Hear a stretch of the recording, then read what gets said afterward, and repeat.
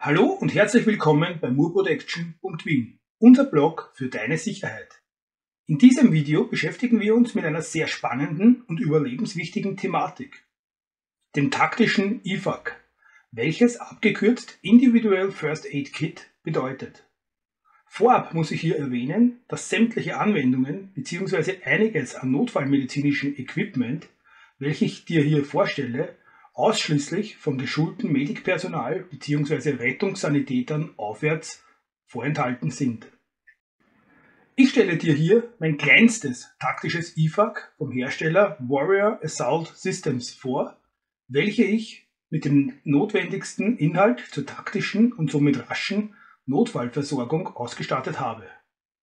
Tatsächlich habe ich dieses auch im professionellen Einsatz in Verwendung. Warum habe ich mich für dieses entschieden?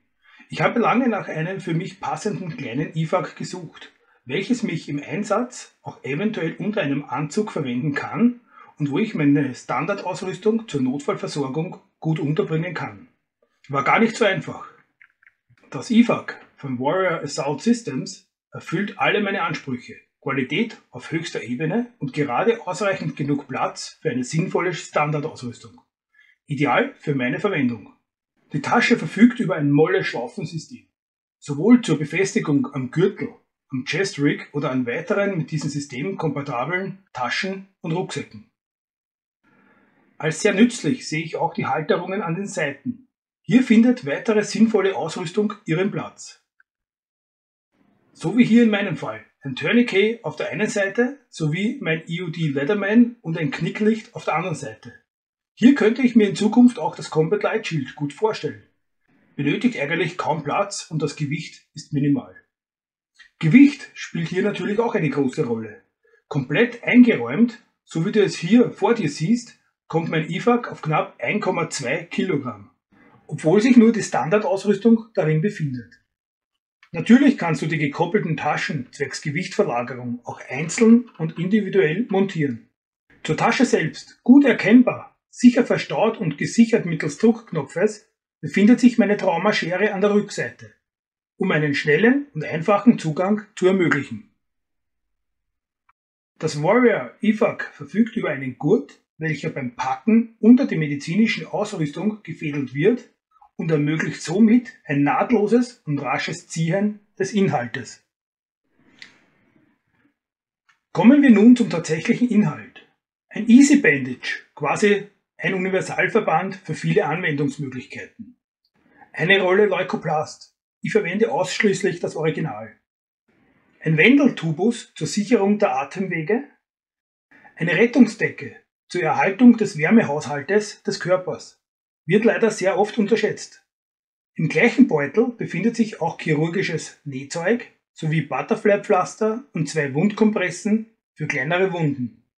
Ein Combat Gauss für besonders starke Blutungen. Damit kannst du auch wirklich sinnvoll Wundpacking durchführen. Eine spezielle Beschichtung aktiviert diese bei Kontakt mit Blut körpereigene Enzyme zur Blutgerinnung und beschleunigt so die Blutstillung. Zudem besitzt das QuickClot die nützliche Eigenschaft, dass es röntgendetektierbar ist und in weiteren medizinischen Schritten am X-Ray sichtbar gemacht wird. Bei Anwendung muss immer ein Druckverband angelegt werden. Dazu eignet sich das Easy Bandage hervorragend. Eine Packung Chest Seal zur Versorgung offener Thoraxverletzungen nach Schuss- oder Messerverletzungen. Eine Packung beinhaltet, so wie in meinem Fall hier, zwei Stück.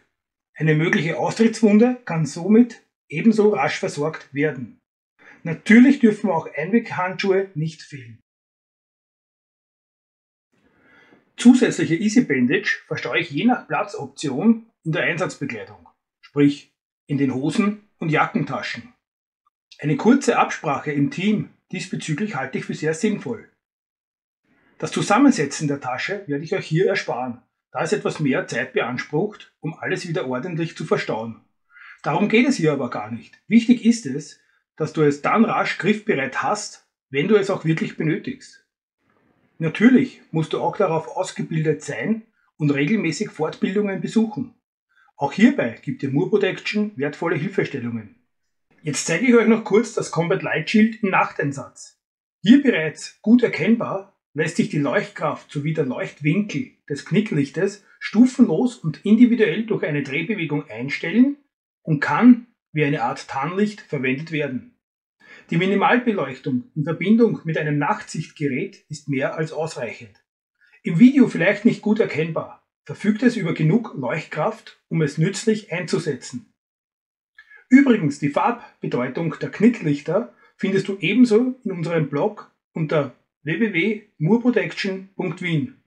Alle genannten Artikel, welche wir natürlich auch selbst in Verwendung haben, habe ich für dich wie immer hier verlinkt. Ich hoffe, der Beitrag hat dir gefallen. Lass einen Daumen da und abonniere den Kanal für mehr Sicherheit in deinem Leben. Teile uns auch deine Meinung in den Kommentaren mit. Ich bin sehr gespannt darauf. Für moorprotection.wien, mein Name ist Tom Moore.